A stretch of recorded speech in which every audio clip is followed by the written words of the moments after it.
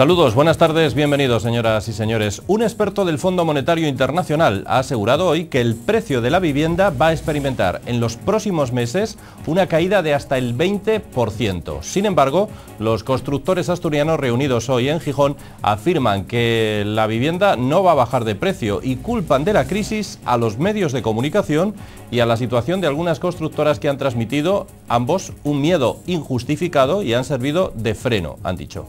A la que se ha puesto freno, y eso que tampoco era conocida precisamente por su rapidez, es a la justicia. Los errores judiciales que se repiten y la huelga de funcionarios hacen que se coloque a uno de los tres poderes fundamentales en una difícil situación y prácticamente no hay ciudadano que por una u otra razón no tenga ahora mismo un juicio, un expediente o un documento necesario paralizado. Vamos a comenzar con estos temas y con otros nuestro informativo de hoy. La Confederación Asturiana de la Construcción descarta que la vivienda nueva vaya a bajar y culpa de la crisis a los medios de comunicación y la situación de algunas constructoras que han transmitido un miedo injustificado y han servido de freno, dicen. Aunque a su juicio Asturias no se verá tan afectada, si el panorama no varía en breve, puede pasar de todo con las constructoras y entre ello el cierre de algunas de ellas.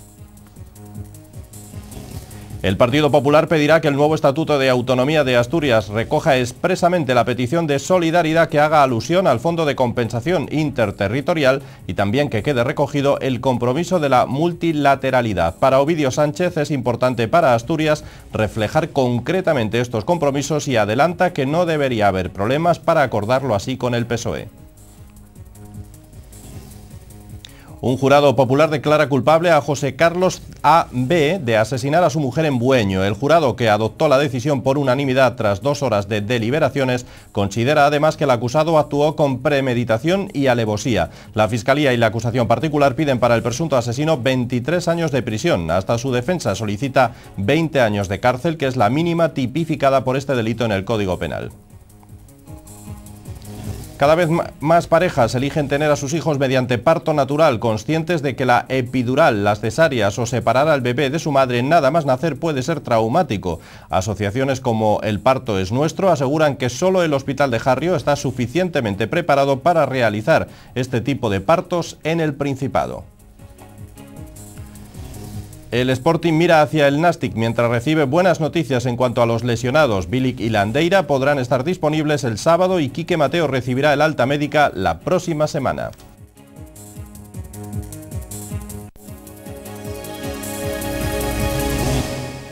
La crisis que está viviendo el sector de la construcción es cada vez más palpable. La Confederación Asturiana de la Construcción asegura que la población, pese a estar parada por el miedo, sí dispone de la capacidad financiera necesaria para comprar y descarta que la vivienda nueva vaya a bajar. ¿Culpan de la crisis? A los medios de comunicación y a la situación de algunas constructoras que han transmitido un miedo injustificado y que han servido de freno. Aunque a su juicio Asturias no se verá tan afectada, si el panorama no varía en breve, puede pasar de todo con las constructoras. Entre otras posibilidades, el cierre de algunas de ellas, han dicho desde la Confederación Asturiana de la Construcción. La Confederación Asturiana de la Construcción cree que la población tiene capacidad económica para comprar, pero que no lo están haciendo porque no nos fiamos de los promotores y pensamos que la vivienda va a bajar mucho de precio. Y hay capacidad financiera para comprador, pero el comprador está parado, porque es que el comprador lo que recibió durante todo este tiempo, desde hace año y medio, es una impresión de que aquí los pisos van a bajar un 20, un 30, no sé cuánto, según la Confederación Asturiana de la Construcción, Asturias es una de las comunidades que está menos implicada en problemas referentes al sector, pero desde hace año y medio ha entrado un miedo generalizado, también motivado por la subida de los intereses.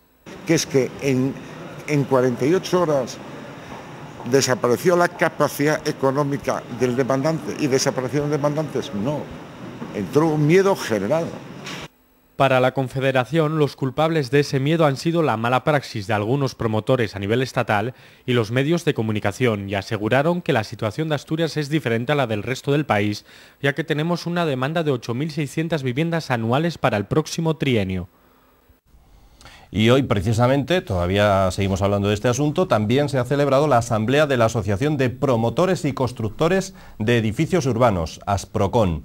En Gijón han asegurado que la construcción vive un ajuste y no una crisis. En todo caso, la actual situación que vive el sector no tiene origen ni relación con las empresas asturianas. También se han referido al exceso de producción de las grandes compañías inmobiliarias, lo que ha llevado a la desestabilización del mercado, dicen. Asimismo, indicaron que ahora existe una mayor demanda de viviendas protegidas, un modelo que se fue abandonando en los últimos años para construir vivienda libre. El exceso de producción de estos últimos años de bonanza, materializado en su mayor parte por las grandes compañías inmobiliarias que tuvieron crecimientos espectaculares a base de altos niveles de endeudamiento, propició el que se, el que se desestabilizase un mercado que al menos en nuestra región siempre había estado ordenado y que esperamos vuelva a estarlo al comprobar el comprador que a nuestras empresas no les pasa nada. Y como consecuencia principalmente de los bajos tipos de interés y del exceso de liquidez en el mercado bancario, se construyeron y transmitieron un gran número de viviendas libres y se abandonó el mercado de las de protección oficial.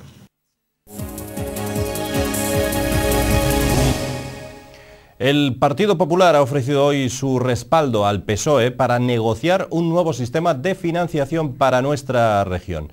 Así, Ovidio Sánchez ha pedido o ha dicho que pedirá que el nuevo Estatuto de Autonomía de Asturias recoja expresamente la petición de solidaridad que haga alusión además al fondo de compensación entre los eh, diferentes territorios o comunidades y también que quede recogido el compromiso de la multilateralidad. Y es que una región como Asturias, que depende económicamente del resto de España, no puede prescindir de esto. El presidente del PP recordó que este partido ya advirtió de las negativas consecuencias del Estatuto de Autonomía de Cataluña para otras comunidades, sobre todo las que necesitan más solidaridad, como es el caso de Asturias. El PP quiere que se mantenga la actual ley de financiación autonómica y que en la futura reforma del Estatuto se refleje los valores de la solidaridad y la multilateralidad. El presidente del PP asturiano, Ovidio Sánchez, recordó que el modelo del Estatuto de Cataluña perjudica a otras comunidades con menos recursos como Asturias. Mostró su satisfacción porque el propio consejero de Economía haya reconocido que un modelo de financiación distinto al que tenemos perjudicaría a nuestra región. Principio de multilateralidad y el principio de solidaridad. Y que lo que queremos es transmitirle también al Gobierno que la posición de Asturias eh, debe ser absolutamente reforzada por todos los grupos y que nosotros estamos dispuestos a hacerlo, estamos dispuestos a trabajar en la misma línea para que la posición de Asturias quede fortalecida ante una negociación que no va a ser fácil en el ámbito nacional. El PP espera que en la próxima ponencia sobre la reforma del Estatuto el artículo relacionado con la financiación autonómica recoja el principio de solidaridad y se haga alusión al fondo de territorialidad. Queremos que se recoja expresamente la petición de solidaridad, que aparezca recogida con, una citación exclusiva haciendo alguna alusión al Fondo de Compensación Interterritorial, que es el que nos favorece mucho, y también queremos que quede recogida eh, el, el, recurso a la multilateralidad y no a la bilateralidad, como hacen también otras comunidades autónomas. Según los populares, hay que trasladar al Gobierno de España que Asturias no está dispuesta a que se rompan los principios constitucionales y que han dado excelentes resultados gracias al Estado solidario. Avilés va a ser la primera ciudad fuera de Sudáfrica que acoja una exposición sobre la vida de Nelson Mandela, gracias a un acuerdo firmado por la Fundación Oscar Niemeyer y el Museo del Apartheid. Está previsto que esta exposición se realice en verano en Sudáfrica y que a finales de este año se traiga hasta Asturias, aunque aún no hay ni fecha ni ubicación concretas. La exposición se compondrá de fotografías y objetos del líder social y político sudafricano que estuvo 27 años preso y trabajó intensamente para acabar con las desigualdades entre negros y blancos. El presidente del Principado visitó ayer el Museo del Apartheid, que lleva en funcionamiento dos años y pretende servir de espejo a la realidad de discriminación racial que vivió la población negra hasta la década de 1990. Hoy el presidente del Principado, Vicente Álvarez Arece, se reunirá con el expresidente sudafricano Nelson Mandela. Se reunió, de hecho, en la sede de su fundación en Johannesburgo. No es la primera vez que se reúnen, ya que el presidente asturiano tuvo ocasión de saludar a Mandela cuando recibió el premio Príncipe de Asturias de Cooperación Internacional junto a Frederic de Klerk. Seguimos hablando de reuniones, ya que en la mantenida entre la Iglesia y el Gobierno se ha eh, pospuesto para el próximo día 15 asuntos tan importantes como la decisión definitiva sobre el uso del paso entre la Catedral de Oviedo y el Museo Arqueológico o el de la Iglesia de la Laboral. De momento solo han avanzado respecto al paso entre la Basílica y el Museo, que no será público. En cuanto a la Iglesia de la Laboral, parece que no hay en principio ningún interés del Gobierno regional por desacralizarla. Entre los asuntos que sí estuvieron sobre la mesa estuvo la inversión realizada por el Principado en el 2006. En total, 6 millones de euros en restauración de iglesias de diversos concejos asturianos, destacando las actuaciones en el románico de Villaviciosa o el prerrománico y Catedral de Oviedo.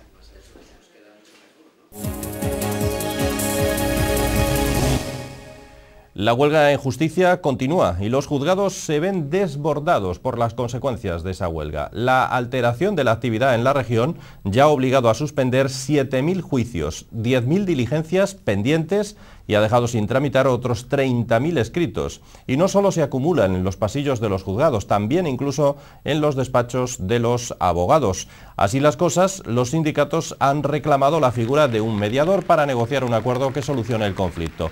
Una persona consensuada por las partes para llegar a un pacto negociado y no impuesto, mientras el ministro de Justicia, Mariano Fernández Bermejo, ha calificado de fraude el referéndum sindical porque solo pudieron votar los huelguistas y ha pedido que se repita. También ha señalado Bermejo que las reuniones con la mesa de negociación se reanudarán mañana y ha anunciado que aumentará los servicios mínimos para garantizar los derechos de los ciudadanos. Y es que hasta la portavoz del Gobierno regional ha reconocido que el Principado está preocupado por los efectos que está teniendo la huelga y que espera que el conflicto se resuelva lo más pronto posible. No toda la actividad judicial está parada. Un jurado popular ha declarado culpable a José Carlos A. B. de asesinar a su mujer en Bueño. El jurado, que adoptó la decisión, la decisión por unanimidad tras dos horas de deliberaciones, ha considerado además que el acusado actuó con premeditación y ha considerado el agravante de ensañamiento, ya que el acusado asestó más de 30 puñaladas a la víctima cuando las primeras ya habían sido mortales de necesidad. La Fiscalía, la abogada del Estado y la acusación particular piden 23 años de prisión y hasta la defensa solicita 20 años, que es la mínima tipificada por este delito en el Código Penal. El portavoz del jurado consideró que el acusado dio muerte a su mujer y en trámites de separación Isaura Pascual porque se encontraron vestigios de la piedra en la mano del acusado y consideraron que existió premeditación. Y otra lacra que preocupa tanto como la violencia doméstica es la siniestralidad laboral. Tan solo hoy se han producido hasta tres accidentes laborales de cierta gravedad. El metal es el sector que se posiciona con el mayor índice de siniestralidad en el Principado, y es que han aumentado los accidentes en un 20%, según datos hoy aportados por el sindicato UGT. Además, durante los meses de enero y febrero de este año, los dos primeros meses, se han producido nueve muertes por accidente laboral, es decir, cinco más que en el mismo periodo del año pasado. De estos accidentes, siete se produjeron en la jornada de trabajo y dos in itinere, es decir, durante el trayecto para acudir al puesto de empleo. Nueve muertes se produjeron por accidente laboral durante los meses de enero y febrero, cinco más que en el mismo periodo de 2007.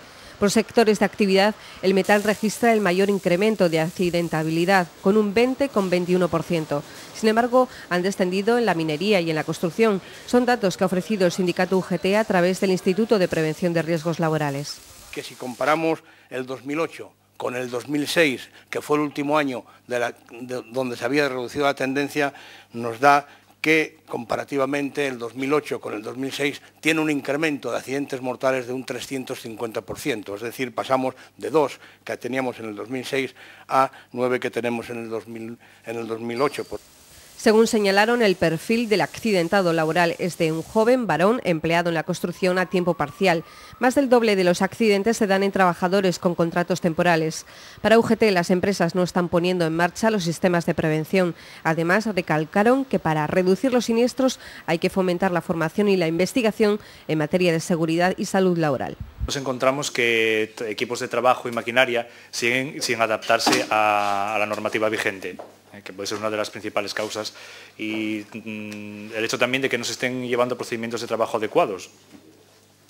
Esperemos que mm, con, el dinero que se va a destinar al plan Renove, se empiece a renovar maquinaria, equipos de trabajo, puesto que en el ADC sobró gran cantidad de dinero en este aspecto. Según los datos, en enero y febrero de este año el total de accidentes con baja en jornadas se elevó a más de 3.600. Comparado con el 2007 hubo un aumento de 203 accidentes más.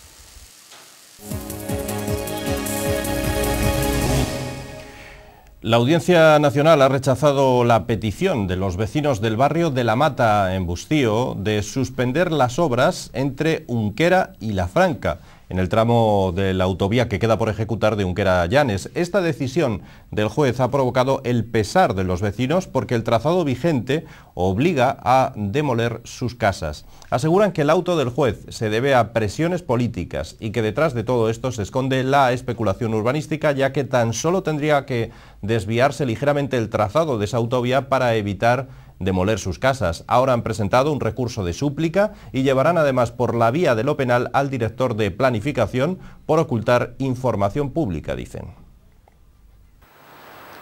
El rechazo por parte de la Audiencia Nacional a la petición de los vecinos del barrio de La Mata, en Bustio, de suspender las obras de la autovía entre Unquera y La Franca ha provocado malestar y preocupación, pero ellos seguirán luchando para que el trazado se desvíe y no obligue a derribar sus casas.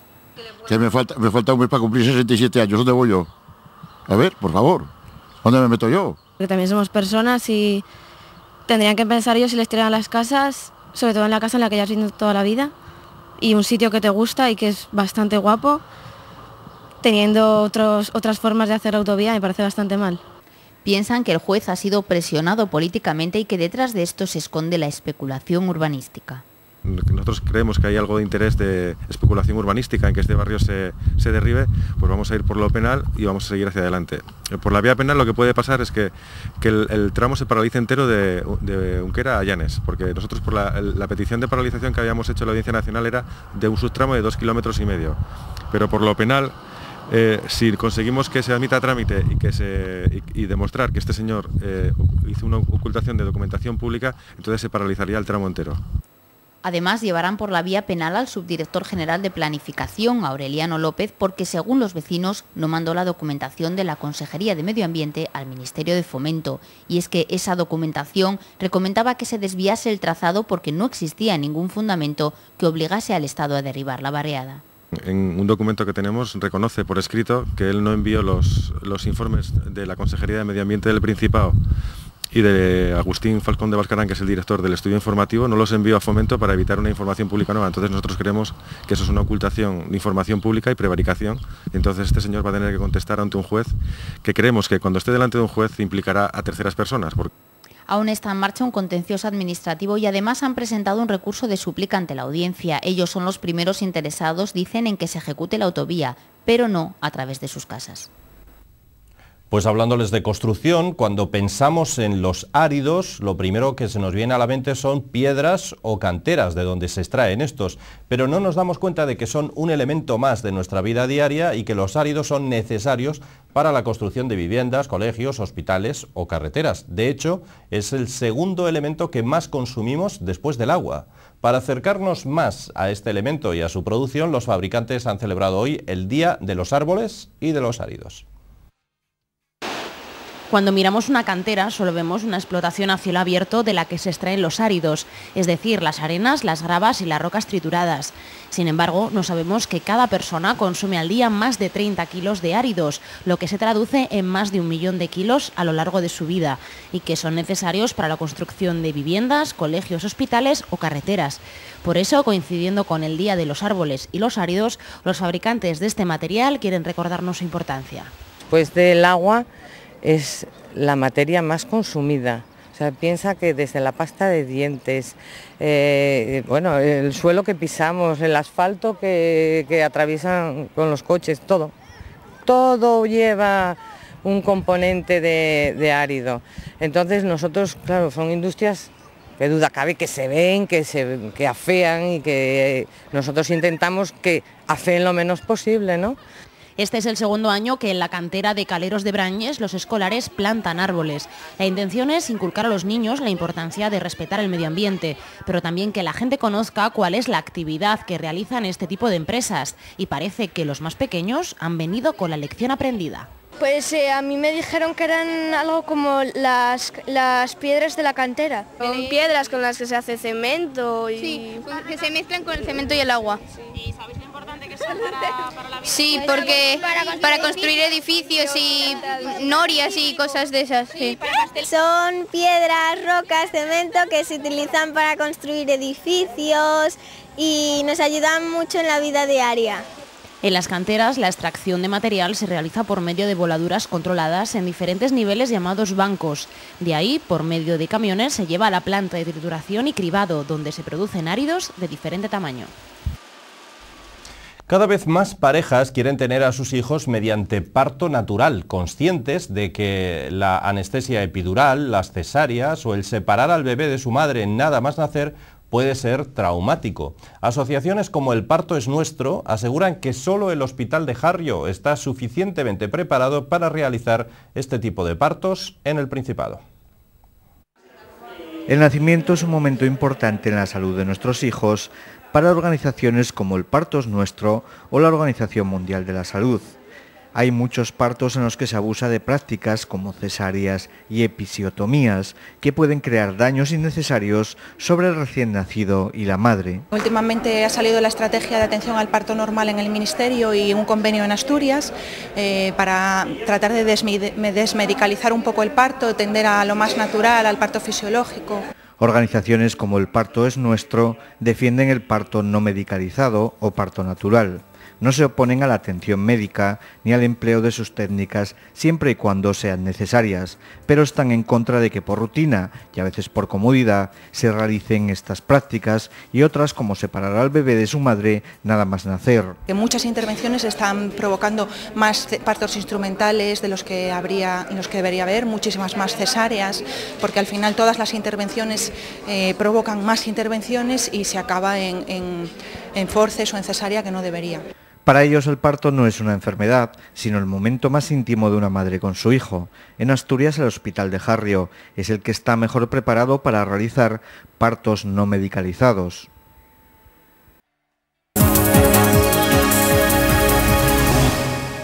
Estamos ya con nuestra entrevista de hoy. El vaivén de las temperaturas y los bruscos cambios climáticos que sufrimos han propiciado que podamos ver almendros en flor en casi el pleno mes de enero o de febrero o que nieve a finales de marzo ya casi en abril. No somos los únicos que notamos ese cambio. Los osos pardos de la cordillera cantábrica el oso, que es ese emblema de Asturias, suele guarecerse en sus cuevas cuando llega el invierno. Sin embargo, este año, debido quizá a esas altas temperaturas invernales, algunas de las osas que ocupan los territorios más bajos han mantenido una actividad constante en busca de alimento, algo que les puede perjudicar de cara a la invernación. Además, los plantígrados también son noticia estos días, ya que se van a limitar las visitas a las famosas paca y tola durante su reproducción para evitar que el ruido les moleste ahora que están en estado de buena esperanza o lo van a estar, eso es lo que deseamos. Para hablar de este y otros asuntos contamos esta noche con Alejandro González, que es miembro de FAPAS. buenas, eh, buenas noches o buenas tardes, Alejandro, bienvenido. Gracias. Bueno, yo creo que de sobra es eh, conocido FAPAS, pero si te parece y como introducción nos explicas qué es y cuál es vuestra labor, que me estabas explicando hace un momento. Eh, pues sí, la verdad que el FAPAS es una ONG que se dedica a la conservación de la naturaleza y en este año 2008 cumplimos 25 años de existencia. ¿no? Y la verdad que el FAPA siempre pues, se caracterizó por trabajar en la conservación de especies en peligro. En un primer momento fue los buitres, intentar recuperar la población de buitres en el entorno de los picos de Europa, allá por el año 85, eh, y después de muchos años de trabajo y de mucho esfuerzo, se puede decir que la especie hoy en día está fuera de peligro. No se puede decir así abiertamente, hay que decirlo así con la boca pequeña, pero la especie sufrió afortunadamente una, eh, una recuperación bastante importante. ¿no? Y una vez que el buitre estaba, la población del buitre estaba recuperada, pues eh, trabajamos en la supervivencia, en la conservación del oso pardo. ¿no? Y eso comenzó en el año 85 y bueno, el oso pardo es una especie un poquitín más compleja y en esas estamos todavía. ¿no? Afortunadamente en los últimos años la tendencia de la población es bastante buena y hay esperanzas de que poco a poco se vaya recuperando.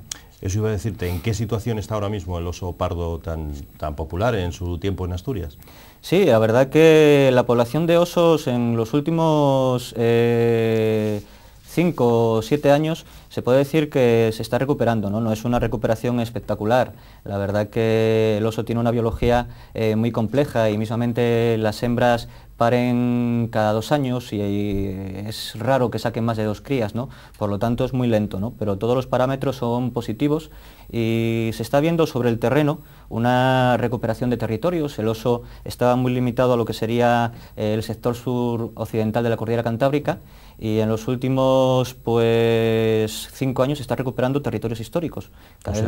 ¿te refieres? Hasta ahora estaba localizado. Estaba localizado lo que sería Cangas de Narcea y Somiedo, ¿no? Y ahora mismo ya cada vez hay mayor asentamiento de la especie en Belmonte, también en los concejos de los valles del Trubia, lo que sería Quirós, Teberga, eh, Proaza y puntualmente eh, en algunos momentos del año también puede llegar al concejo de Oviedo, ¿no? aprovechar por ejemplo eh, las cosechas de castañas que puede haber alrededor del pueblo de Trubia. Por lo tanto, la población es buena, cada año tenemos un porcentaje de hembras con crías bastante alto y bueno, si evitamos también que los animales tengan problemas de muertes indirectas, como puede ser el furtivismo, la población tiene visos de ir poco a poco recuperándose. Es curioso, tú lo decías ahora mismo, que en algunos momentos del año están incluso muy cerca de Oviedo, ¿no?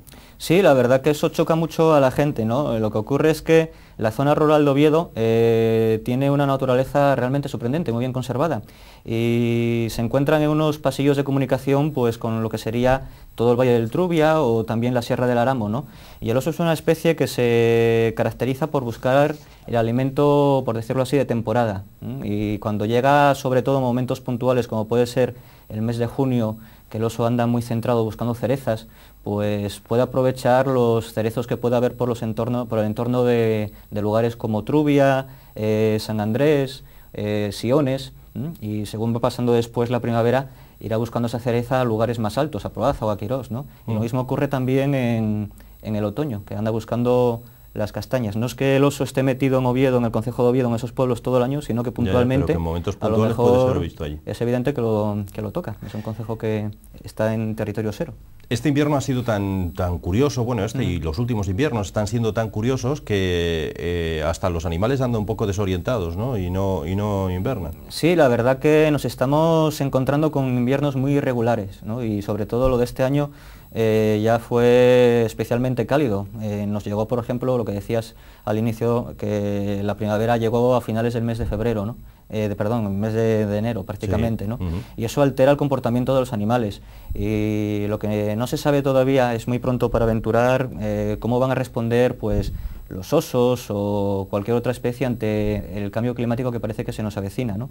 Eh, pero también parece que una de las posibilidades de que los osos se encuentren activos durante el invierno es que tienen problemas de alimentación. Un oso para realizar una hibernación completa tiene que ir muy bien alimentado pues, a la osera en el mes de diciembre. Tiene que tener pues eh, un peso, por ejemplo, un macho tendría que estar rondando los 180, 200 kilos, tener una reserva de grasas muy alta para poder pasar prácticamente en activo tres meses. ¿no? Y si el oso pues, llega débil a ese periodo tan crítico que es el final del otoño, pues a lo mejor eh, no tiene esas reservas para, para estar aletargado y tiene que verse obligado a estar activo durante el invierno. ¿no? Por lo tanto no sabemos si responde a un problema global como puede ser el cambio climático o particular de que no tienen alimento y sobre todo carroñas. ¿Y qué supone esto? ¿El hecho de que no lleguen a hibernar supone algún tipo de riesgo para su supervivencia o no? Sí, eh, puede, puede implicar problemas indirectos, ¿no? porque la temporada de caza, por ejemplo, se desarrolla en el invierno, en, una, en, una, época donde toda la vida los osos estuvieron aletargados en las cuevas y seguros. ¿no? Si ahora mismo el oso está hambriento y tiene la necesidad de estar buscando alimento, pues va a estar compartiendo su hábitat, su territorio con el jabalí y puede estar expuesto a, las cacerías. Eh, parece un poco extraño, pero es fácil confundir en el monte eh, a un oso con un jabalí. Mm, ver un oso en libertad de una forma nítida es muy raro. Y siempre que lo ves, lo ves entre la vegetación y hay osos que, claro, tenemos siempre la imagen en la cabeza de un oso que pesa 150 o 200 kilos, pero hay ejemplares juveniles o hembras que pesan 60 u 80 kilos y por lo tanto un cazador puede a lo mejor confundirse fácilmente con, bueno, confundir un, oso con un jabalí, ¿no? Y por lo tanto es un problema añadido que, vamos a ver en los próximos años cómo, cómo responde, ¿no? Otro problema que afecta a su supervivencia es esa eh, normativa de la Unión Europea de no mm. permitir que la carroña, antes cuando moría un animal en el monte, quedaba allí y servía de pasto, de alimento para buitres, lobos, osos. Exactamente, ¿no? Ahora ya no, ¿no? Por aquello de las vacas mm. locas. Exactamente, eso es un problema muy serio que todavía parece que la administración o la sociedad, eh, bueno, eh, la administración de forma global no ha valorado, ¿no? Porque tradicionalmente durante cientos de años a un ganadero le moría una, vaca, ya sea en la cuadra durante el invierno o arriba en los pastos mm. en el verano, y la dejaban en lugares tradicionales, en muladares. Y ese recurso era aprovechado no solamente por el oso, sino también por lo que acabas de decir, por el lobo y el resto de la fauna cantábrica. Y desde el año 2001, eh, a consecuencia del efecto que generó el mal de las vacas locas, pues hay una normativa que exige la retirada de esos animales. ¿no? Y, por ejemplo, eh, desde el año, creo recordar, desde el año 2003 al 2006, se han retirado en zonas oseras más de 5.500 reses, ¿no? que eso sería un alimento muy válido para los osos. Y además es un alimento muy importante, es proteína pura, lo que necesitan para estar gordos, para encarar la invernación. ¿no? Y es un problema muy serio que desde el FAPAS estamos intentando evitar. Hemos intentado que la zona de la cordillera cantábrica sea considerada como un lugar remoto, una zona remota, y todavía se pueda mantener esa tradición de dejar eh, las vacas muertas en el monte, ¿no? como todavía se hizo. Eso está provocando que además, eh, bueno, aparte de que les encante la miel, pero claro, tienen que buscar alimento donde sea y están atacando colmenas. Eh, precisamente los daños a los colmenares se multiplicaron de forma alarmante desde que se están retirando los, las carroñas. ¿no? la miel es otro alimento proteico, eh, muy nutritivo para el oso y si hasta el año 2001 era normal que a lo mejor mm, en Asturias hubiese 30 o 40 ataques del oso colmenares, desde que se retiran las carroñas, ahora mismo hay en torno a las 130. ¿no? Eh, es fácil pensar que el problema deriva de, la ausencia de, carroñas en el monte. ¿no? Eh, es un problema porque, claro, la normativa está hecha para intentar combatir un sistema de manejo ganadero que, se produce en, países como Alemania o Gran Bretaña, ¿no? que nada tiene que ver con, el manejo ganadero de la cordillera cantábrica, donde las vacas prácticamente se alimentan únicamente de pastos y, de piensos eh, vegetales, no del alimento que pueden tomar vacas productoras de leche, que tienen que estar ahí muy eh, controladas en la, en la granja. Em, bueno, pues el que quiera ver los osos, que vaya a ver a Pacaitola, aunque ahora se va a limitar un poco las visitas, ¿no? Por aquello de la reproducción. Sí, la verdad que ahora mismo con, el tema de la reproducción de Tola y Paca, lo normal es que les den un poquitín de, tranquilidad, ¿no? Cualquier eh, comportamiento que esté por ahí metido en los ceros, la reproducción, los animales necesitan pues tranquilidad y claro, no sé de qué manera se podrá enfocar porque Tola y Paca son un recurso turístico y didáctico. La verdad que están haciendo una, una función en, educación ambiental muy importante, pero bueno, tendremos que esperar un poco para verlas, para ver si, si conseguimos que queden preñadas. ¿eh? Hay que hacer un esfuerzo todos. Bueno, vamos a ver qué es lo que ocurre, a ver si nos dan una, alegría. Eh, agradecemos muchísimo la presencia de nuestro invitado Alejandro González, miembro de FAPAS, que como decíamos, pues ha venido directamente, ¿no? casi del monte hasta aquí y se lo agradecemos. Muchas gracias, Alejandro. Gracias a vosotros. Hasta luego. Asturias es, además de una de las regiones donde todavía existen osos, una de las comunidades donde participan más niños en el concurso ¿Qué es un rey para ti? Hasta 1.800 alumnos de entre 8 y 13 años lo han hecho en esta ocasión, en la vigésimo eh, séptima edición, en la que los más pequeños han expresado a través de un trabajo creativo la idea que ellos tienen sobre nuestro rey. 1.800 alumnos procedentes de 130 centros de Asturias han participado en la 27 edición del concurso ¿Qué es un rey para ti? Cada año, niños con edades entre 8 y 13 años expresan con un trabajo creativo la idea que tienen de la figura del rey don Juan Carlos I. Yo me inspiré en los libros de Asterix y Obelix y dibujé el mapa de España con una bandera clavada en el medio, representando la unidad de toda España. Una persona muy amable, mmm, eh, muy entretenida y, y muy, muy especial. Y ya está.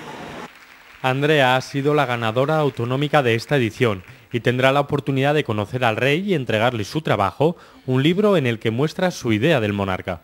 Ha utilizado técnicas pues, eh, plásticas de dibujo, ha escrito también, ha ideado, ha preparado pues, un texto de, de mucho interés para, para el nivel de su edad.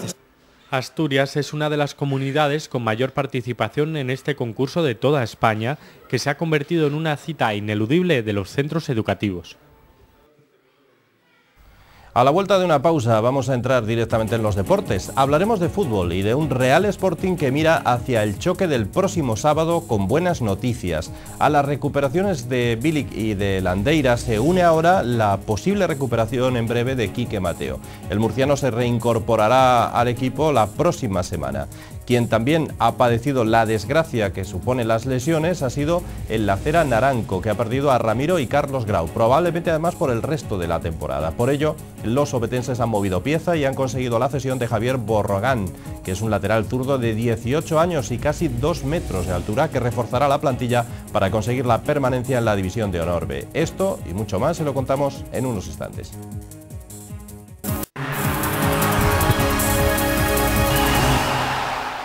Y un día más, los deportes tenemos que comenzarlos hablando de la posibilidad de que Asturias vuelva a tener un equipo en la primera división de fútbol. El Real Sporting sigue adelante con su preparación para conseguirlo, en este caso en un partido que jugará el sábado ante el Nastic. Los rojiblancos van a recuperar a, recuperar a Bilic y a Landeira para este choque y Preciado podría introducir hasta cuatro cambios con respecto al último once inicial.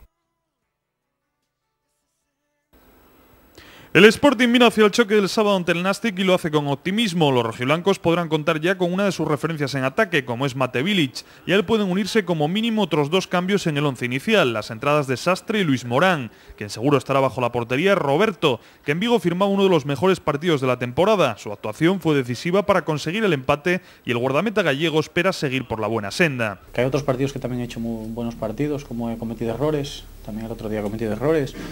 Y de esos errores pues hay que aprender. Y de los aciertos pues eh, eh, intentar repetirlos. Porque la posición del portero es, eh, es, muy ingrata y sobre todo se valoran muchísimo los errores. Y el portero lo que no puede cometer cometer fallos lo que no puede es perder puntos no si los gana pues fenomenal pero lo que no puede un portero es perder puntos.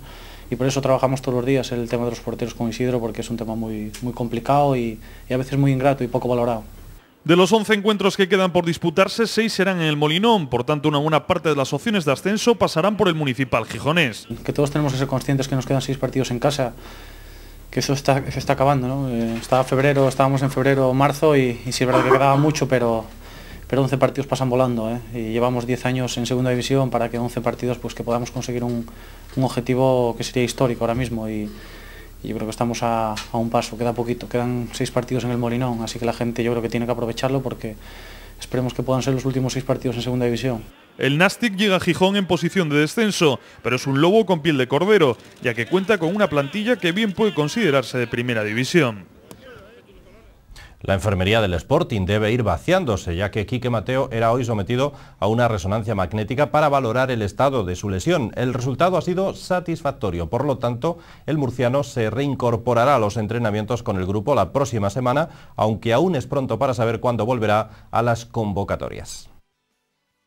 Hoy hicimos una resonancia de control a, Quique Mateo y bueno, nos acaban de dar los resultados. Eh, hay una fibrosis de la, zona lesionada con un pequeño edema residual, con lo cual consideramos que, para la semana que viene va a empezar a, entrenar con el equipo. ¿eh? La evolución ha sido muy buena y él está sintomático y luego pues la resonancia ha confirmado que, ha cicatrizado muy bien. ¿eh? Así que como os digo, pretendemos que la semana que viene ya empiece a entrenar con el equipo. Dependerá un poquitín del trabajo que realice el entrenador, de cómo entrene, de las sensaciones que tenga y sobre todo si él, eh, digamos, físicamente es capaz de soportar la, intensidad de los entrenamientos que se programen.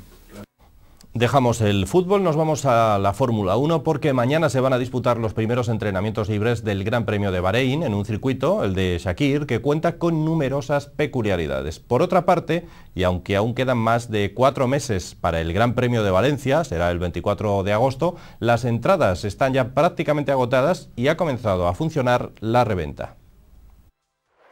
Hay en Bahrein algunos aspectos que lo diferencian de los demás circuitos del campeonato, los bordillos por ejemplo, un elemento distorsionador que provoca numerosos pinchazos, otro es la adherencia, la arena que se desliza por la pista provoca que el nivel de agarre de los neumáticos sea bajo y que cualquier despiste, es decir, pisar la parte sucia del asfalto, acabe con el coche volando por cualquier escapatoria. Y si no es por la arena, lo será por los frenos, porque Shakir presenta tres zonas con giros cerrados, que provocan frenadas a fondo. Los frenos sin posibilidad de refrigerarse deben aguantar en estos momentos hasta 2000 grados de temperatura, un sobrecalentamiento que provoca falta de sensibilidad en el pedal y derivan pasadas de frenada. Se trata pues de conjugar un buen agarre mecánico, un motor potente y un buen equilibrio de frenos. Todo ello aderezado de unas temperaturas que rondan los 40 grados, 60 en el interior del coche y un circuito con un total de 5.411 metros, que favorece los adelantamientos en sus 14 curvas, 6 a la izquierda y 8 a la derecha, y en sus rectas, una de ellas, la de tribunas, la más larga del Mundial, con 1.090 metros. Por otra parte, lejos de Bahrein, el Gran Premio de Valencia, que se disputará en agosto, ya genera noticias. Apenas quedan unas 5.000 entradas disponibles. Más del 90% de las entradas se liquidaron este pasado martes, primera jornada de venta oficial, y hay quien espera hacer negocio con la reventa de las mismas. Hablamos de otros deportes más eh, variados, por ejemplo baloncesto, con el Faro Gijón que ya se encuentra en tierras catalanas para enfrentarse mañana a partir de las 9 de la noche al Cornellá. El objetivo de los gijoneses es conseguir una nueva victoria que les mantenga en la lucha por las primeras plazas. El Faro Gijón recuperó la buena senda ante Lillesca si no quiere perderla. La victoria ante los toledanos fue importante, además de por cortar una mala racha por la forma en que se produjo, remontando y dando sensación de que el equipo es capaz de crecerse ante las dificultades. Debe ser pues un punto de partida para afrontar el último tramo de liga con garantías. Sobre todo de la manera que se produjo, un partido muy apretado, que yo creo que gustó mucho a la afición y que para nosotros nos sirve para volver a coger la confianza y saber que haciendo un partido completo, a pesar del bajón del tercer cuarto, somos capaces de ganarle a equipos grandes como es Illescan. ¿no? Siempre es importante saber reaccionar a tiempo, que hasta ahora pues, nos había costado mucho trabajo hacerlo, incluso no lo habíamos conseguido hacer. Y bueno, pues está, claro que, sabemos hacerlo, ¿no? que podemos y que eh, la satisfacción de haberlo logrado con una, victoria muy importante que quieras que no nos acerca un poquito más a la parte de arriba que es donde debemos de estar. El Cornellá es en teoría un conjunto inferior al Faro, pero a estas alturas de la competición todos los equipos se juegan algo, o bien luchar por meterse en playoff o por no descender, así que la tarea no será fácil. De todas maneras, si los gijoneses están a su nivel, la victoria debe caer de su lado. Las últimas jornadas siempre son muy competitivas, los equipos de abajo vienen muy, muy presionados por los resultados y son muy difíciles de, ganar. ¿no? Entonces cualquier equipo te puede ganar ahora y sabemos por ejemplo ahora que vamos a Cornellá, un partido que teóricamente puede ser fácil pero que no lo va a ser. Yo creo que estoy más preocupado por nuestro juego, el que sepamos volver a reaccionar como reaccionamos contra Yesca y no volvamos a caer en el juego que teníamos en las últimas semanas y yo creo que si nosotros hacemos nuestro juego y sabemos desarrollarlo, ganaremos. ¿no? Para el choque ante los catalanes, el Orbi contará con todos sus jugadores, a excepción de Peter Ragnia, que sigue recuperándose de su operación de apendicitis. Del baloncesto nos vamos al balonmano porque la Cera Naranco ha conseguido la cesión de Javier Borragán. El joven jugador asturiano militaba en las filas del Portland de la Liga Asobal y ahora viene a reforzar al equipo betense de cara al último tramo de la temporada con el fin de conseguir sobre todo la permanencia en la actual división de Honor B donde milita. El último partido de liga se saldaba con una importante victoria para la Cena Naranco, pero también con las lesiones de Ramiro y Carlos Grau, que probablemente se pierdan lo que resta de temporada. Por eso el club cobetense no ha perdido tiempo y agilizó los trámites para la cesión de Javier Borragán, lateral zurdo de 18 años y casi 2 metros, que puede aportar mucho en este tramo final de campeonato. Quedan seis jornadas y el Acera está peleando por conseguir la permanencia, algo que pasa por ganar los partidos de casa e intentar anañar algún punto a domicilio. Nos quedan dos partidos en casa que tenemos que ganar sí o sí, que son el 3 de mayo y a Coruña aquí en casa, y haciendo esos dos partidos y el resto de partidos dando la cara, pues yo creo que no vas a tener problemas para por lo menos eludir lo que sería el descenso directo. ¿no? La igualdad en la división de honor es máxima, cualquiera puede ganar a cualquiera y quizás con un poco más de suerte, el Acera podría estar ahora más arriba en la tabla. al Cuenca lo ganamos, ¿no? que van segundos, eh, al Alcobendas le plantamos cara allí en pretemporada y, es un claro aspirante a, ascender a Sobal. ¿no? Mm, ahora mismo yo creo que no hay tampoco ningún claro que esté por, encima de, los demás. Ya te digo, estamos todos muy igualados, quizás mm, en ocasiones no hemos tenido demasiadas suertes, ya sea por lesiones o, por arbitraje o por mal partido nuestro, y estamos ahí en los puestos de abajo, pero a, muy poquitos puntos de la mitad de tabla. El primer reto de los obetenses será ganar el próximo sábado una pista del Forcusa Huesca, un rival directo por la permanencia al que ya derrotaron en el encuentro de la primera vuelta.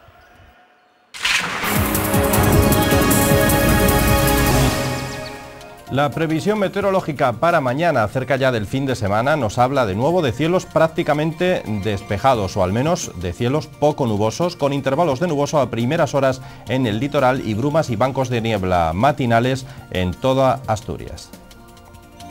Y en cuanto a las temperaturas en las principales ciudades de nuestra región, Oviedo registrará, por ejemplo, una mínima de 5, una máxima de 18, en Avilés entre 6 y 18 y en Gijón entre 7 y 19 grados de máxima.